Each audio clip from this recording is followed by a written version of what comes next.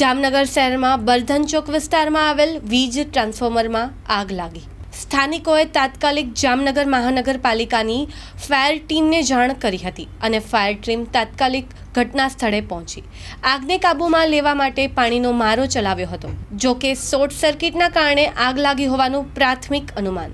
બીજીવીસીએલ અધિકારીઓ પણ સ્થળ પર પહોંચ્યા હતા. બર્ધન ચોક વિસ્તારમાં વીજ ટ્રાન્સફોર્મરમાં આગ લાગતા વીજ ટ્રાન્સફોર્મરમાં ધડાકા સાથે અવાજ આવ્યો હતો, જેના કારણે સ્થાનિકો ભયભીત બન્યા હતા.